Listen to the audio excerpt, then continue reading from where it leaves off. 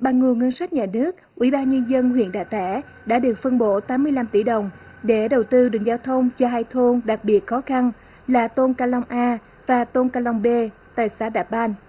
Theo đó, công trình có chiều dài 10 km nối xã Đà Ban đến hai thôn nói trên. Thời gian thi công là 3 năm.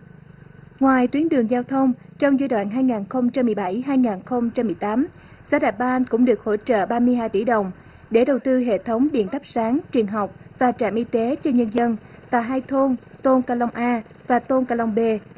Được biết, đây là địa bàn có 100% hội đồng bào dân tộc sinh sống, được thành lập từ năm 2000. Điều kiện kinh tế hết sức khó khăn, đặc biệt là hệ thống giao thông. Sự quan tâm hỗ trợ đầu tư về cơ sở hạ tầng nêu trên sẽ tạo điều kiện thuận lợi cho bà con phát triển sản xuất, ổn định cuộc sống, xóa đói giảm nghèo.